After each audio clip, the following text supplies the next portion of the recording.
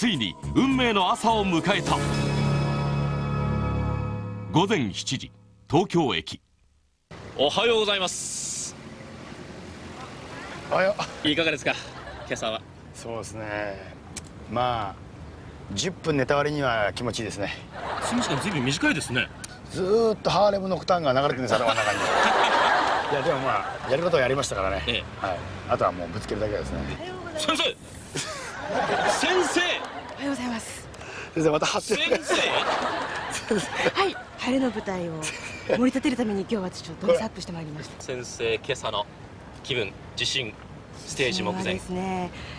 確かに練習をたくさんしたんですよ。はいでもいまいち自信を持ってステージに送り届けることができない。やめてくださいよ先生やっぱり出るからにはミュージシャンとしてね出てほしいので。100%の状態でいきますと。先生僕ねどんどんどん調子上がってきたんですよ。先生の。どんどんどんどんいえいえいえ。ハグさんはまだ来てないんですけど。あのー数少ないレギュラー番組の大阪のラジオの仕事を前日の夜浜口はラジオの仕事で大阪にいた。それでもジャズイベントのことが気にかかるのか片時もサックスを離さない本番前日一緒に練習をできなかった2人。不安を胸にそれぞれ新幹線で名古屋へ。午前10時名古屋駅。先に到着した南原は駅前で浜口を待つ。名宝村までまた一歩一歩近づいてまいりましたね。気持ちの高ぶりどうですか？やだ。お。おはようございます。おはようございますこれ枯れてんじゃないかはい、緊張しすぎて眠れませんでした。マジで？俺10分もうダメです。もうね、音出てくるだろ。ずーっと音楽流れてるんですよ。なあ。耳の中で。なあ。俺とお前はもう離れられないんだよ。ちょっと前にしてきます。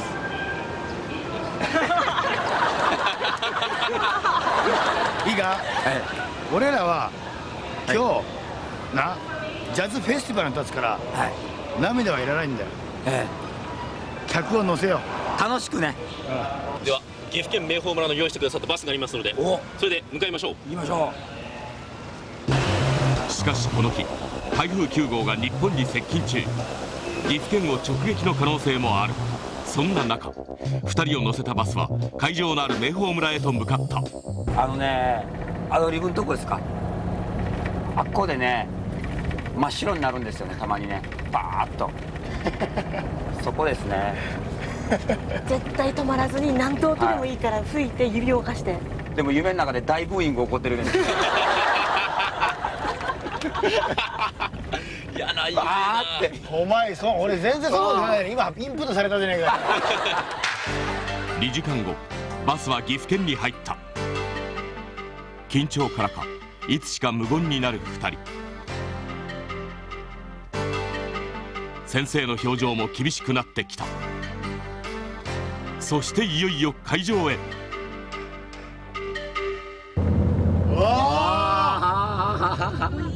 ステージがすげえおお見事出てますね。明宝スキー場に隣接する会場は最大1万8000人を収容できるわ、お客さんがすでに6並んでるんですか？時間前にしてもう並び始めていわますなんとすでに5000人が並んでいた年に一度のこのイベントを楽しみにする観客たちの期待に果たして2人は応えられるのか？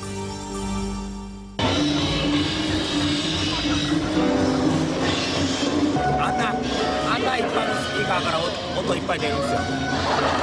恥ずかしい音が出れば全てこの夜空に響きますねえ、これすごいバレやすいですよ。すぐ音間違えたらバレますよ、これは。とりあえず2人はステージを見てみることに。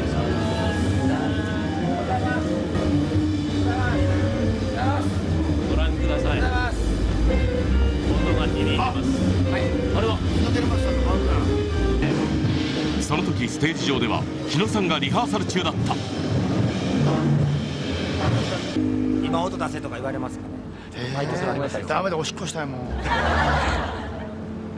緊張するんですよ。人さすげえ真剣怖いよ。2人は練習の成果を少しでも見てもらおうとサックスをスタンバイ。にわかに緊張する先生。果たして日野さんから出演 OK をもらうことができるのか？この番組は花王とご覧のスポンサーの提供でお送りします。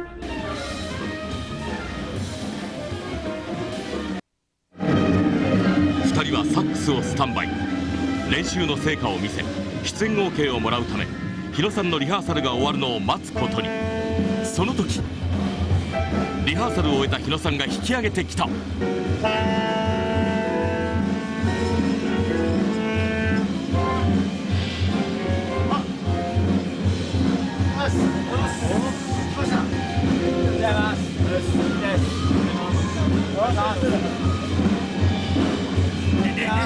でよろしくお願いしますしました。ちょっと。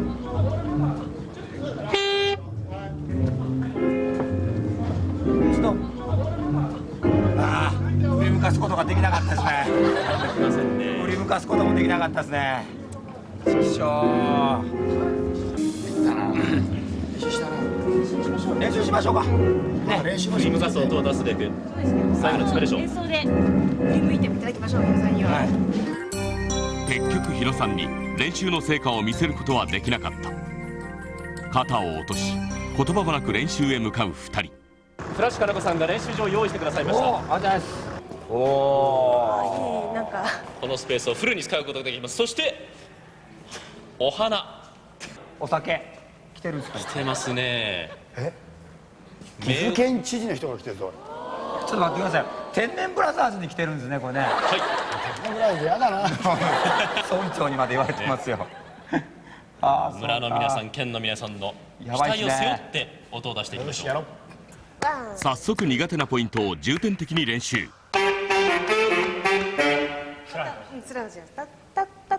しかし2人のテンポがなかなか合わないてるしテンポが安定していくんですよね。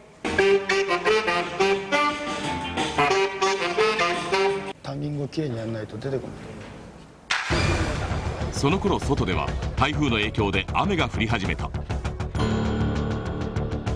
ステージ上ではこの雨のため大幅にスケジュールが遅れ始めほとんどのリハーサルの中止が決定した。えー、っと。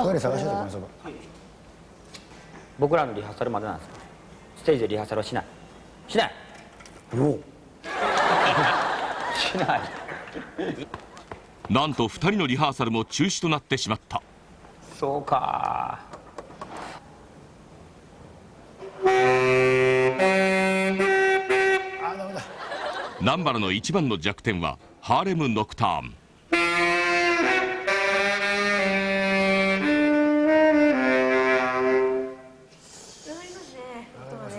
トがうまくまだつかめてないような。このソロパートの課題を与えられてから10日間。毎日毎日ハーレム・ノックターンに練習のほとんどの時間を費やした。どうしてもブレスが続かないのだ。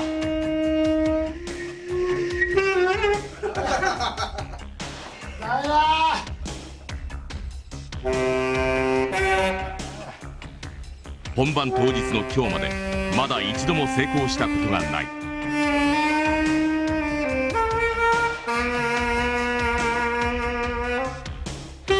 浜口のタブーも同様だ。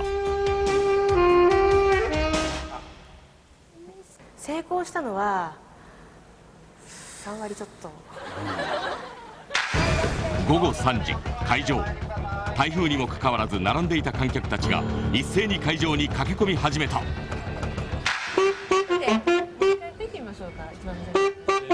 天然ブラザーズのお二人にご紹介しましょう、はい。こちら偉そうに見えてとても偉いお二人です、いましたはい、まずは明豊村の和田村長。あ村長どうも。そして岐阜県の桑原副知事。あお二人応援にいらっしゃいました。ああどうもありがとうございます頑張ってください。ではじゃああの皆さんが期待して今待ってます。はい。ありがとうございます。りがとうございます。このジャカヤマです。よろしくお願いします。よろしくお願いします。お願いします。これにはい。答えられるように。はい。もう少し頑張りましょう。頑張ります